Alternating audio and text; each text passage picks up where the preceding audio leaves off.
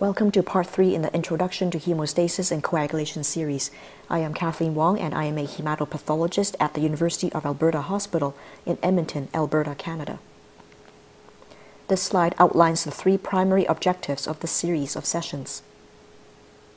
Previously, in part one, we defined normal hemostasis and described primary hemostasis as the interaction between the blood vessel's subendothelial collagen layer, platelets, and von Willebrand factor in part two, we explored how secondary hemostasis is triggered by tissue injury that activates the extrinsic pathway and common pathway to generate an initial burst of thrombin, which then activates the intrinsic pathway in order to propagate additional thrombin generation and clot formation.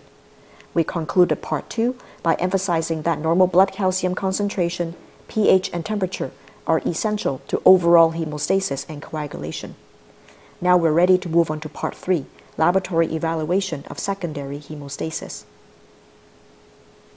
As we discussed previously, the partial thromboplastin time or PTT test shown in blue on the slide measures the time to clot formation from the beginning of the intrinsic pathway at factor 12 through to the conclusion of the common pathway with the formation of the fibrin clot.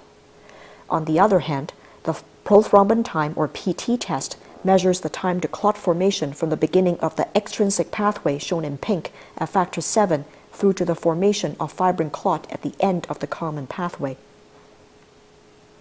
Therefore, the intrinsic pathway factors 12, 11, 9, and 8 are assessed by the PTT test, while the extrinsic pathway, i.e. factor 7, is assessed by the PT test. The common pathway factors, though, 10, 5, 2 and 1 are assessed by interpreting the PTT and PT tests together in conjunction. To measure the PTT and PT, we draw the patient's blood into a tube containing sodium citrate, also known as the blue top tube. The time to clot formation is measured in seconds. In the PTT test, we add back calcium, phospholipid, and a negatively charged surface activator such as kaolin, which directly activates factor 12 in the patient's plasma in the test cuvette. This forces coagulation to proceed down the intrinsic pathway preferentially in the testing environment. The time to convert liquid plasma into solid plasma is measured in seconds, and the result is reported as the PTT. Therefore, a normal PTT result means a normal intrinsic pathway, and that means normal factors 12, 11, 9, and 8 level and function. In the prothrombin time or PT test shown in pink on this slide, we add back calcium and phospholipid to the patient's plasma again, but this time we add tissue factor to the sample instead. This forces coagulation in the test cuvette to proceed down the extrinsic pathway by directly activating the patient's factor 7. The time to convert liquid plasma to solid plasma is measured in seconds and is reported as the prothrombin time or PT. The PT in seconds is also converted to a ratio called the INR, or International Normalization Ratio. The PT and INR results are always reported together. A normal PT and INR result means a normal extrinsic pathway, and that means normal factor 7 level and function. This slide illustrates how the patient's blood specimen is collected and processed to measure the PTT and PT. The patient's blood is first drawn into the blue top tube which contains sodium citrate so that the blood will remain in liquid form for analysis. Once the tube arrives in the lab, it is centrifuged to separate out the red cell, white cell and platelet, and plasma layers from one another. The automated analyzer then aspirates a portion of the patient's straw yellow plasma layer to analyze the PTT and PT.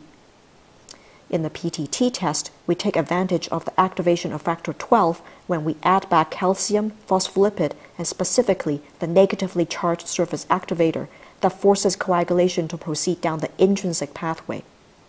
In the PT test shown in pink, we add back calcium and phospholipid again, but this time we add tissue factor to force coagulation to proceed down the extrinsic pathway instead.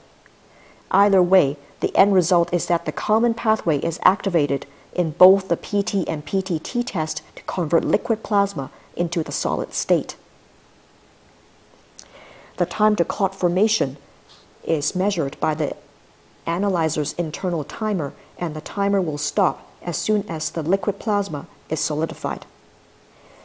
Therefore, the common pathway factors are assessed by the PT-INR and PTT tests together. It is important to realize that there is a normal process called fibrinolysis that will break down the blood clot in time once the blood vessel injury site is repaired. If the clot is broken down or lysed too fast, then there is hyperfibrinolysis, and that means the patient will bleed despite having normal primary and secondary hemostasis. The coagulation analyzer stops its internal timer as soon as the plasma in the test cuvette solidifies. Therefore, the PT-INR and PTT tests do not measure fibrinolysis pathway function at all. Laboratory tests of fibrinolysis include measuring fibrinogen and D-dimers. Hereditary disorders of fibrinolysis are extremely rare, so other specialized tests are referred to reference laboratories for testing, and these are not routinely available in the coagulation lab. This concludes part 3 on the laboratory evaluation of hemostasis and fibrinolysis. This final slide summarizes hemostasis by reviewing the definitions and key components of normal hemostasis, primary hemostasis, and secondary hemostasis. Remember again that normal blood calcium concentration, pH, and temperature are essential to all of hemostasis and coagulation. I thank you for your attention.